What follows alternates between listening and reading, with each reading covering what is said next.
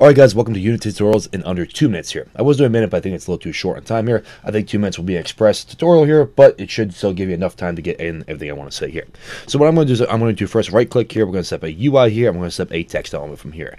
Let's just name this text right now here. Let's make this text say something like new text, that's good enough for me here. And let's make it white just so we can see here, okay? And we're going to make it a little bigger just so we can see it. So in this tutorial here, we're going to work on changing text programmatically with a script from here, okay? Size 80, and let's make it centered and centered here, okay?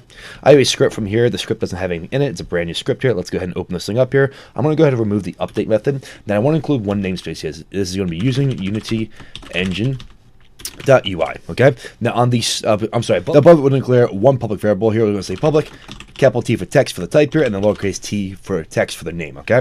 Now we're going to say text dot text here, and then set this equal to something like hello world. Okay. Very simple from there. Okay.